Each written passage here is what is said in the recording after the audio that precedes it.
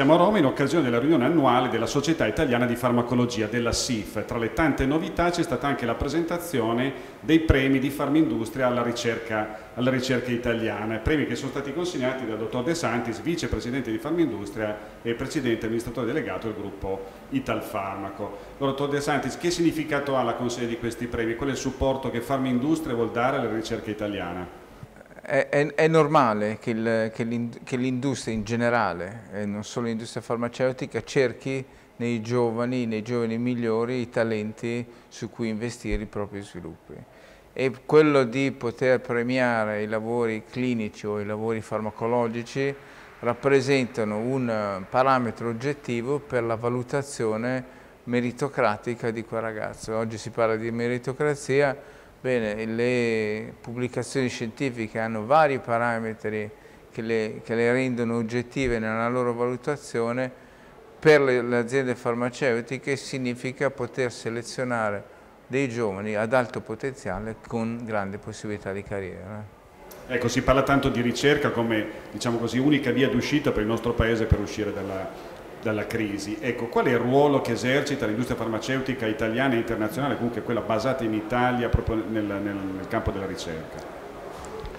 Ma è stato citato più volte quanto il, il nostro paese, che è privo di materie prime, che ha un costo del lavoro elevato, deve aumentare il proprio valore aggiunto, il proprio tasso tecnologico per poter essere competitivo nel sistema.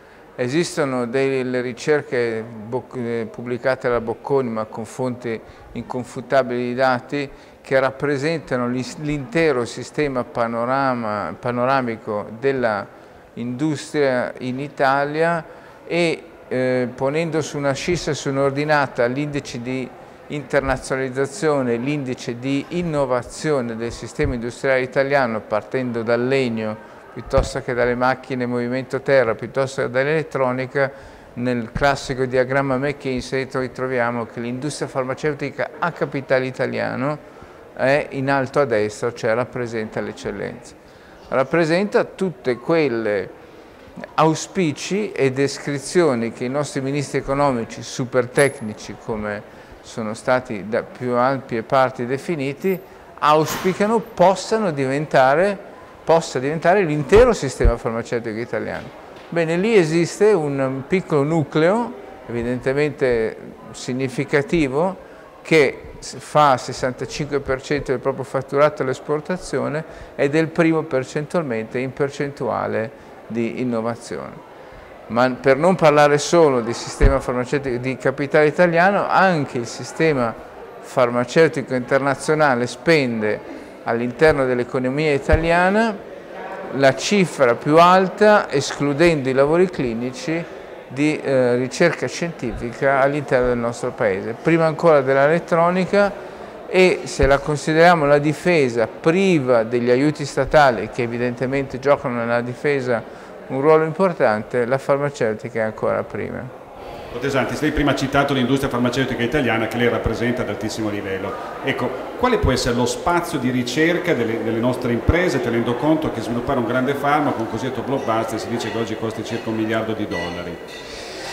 Ma eh, diciamo che le, le aziende possono innanzitutto avere degli obiettivi. Il primo obiettivo può essere dire voglio sviluppare un blockbuster, ma uno sano obiettivo di un'azienda è quello di crescere per esempio quello di crescere, durare nel tempo e di essere competitiva e di crescere magari un po' meglio della media dei propri concorrenti.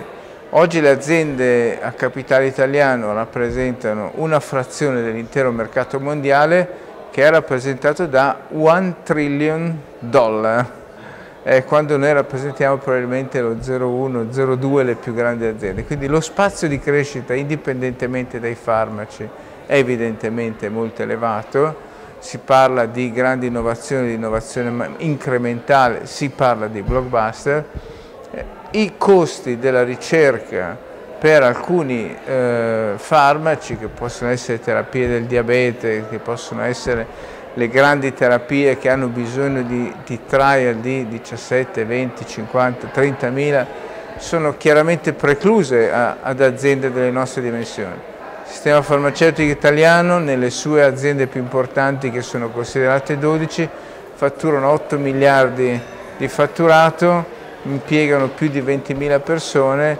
e esportano il 65% della propria, eh, della propria produzione. Eh, rappresentano quindi una risorsa e non è detto che l'ambizione principale sia quella di trovare un nuovo antidiabetico, magari è quello di raddoppiare la propria quota di mercato nei prossimi cinque anni e sicuramente sarebbe soddisfacente.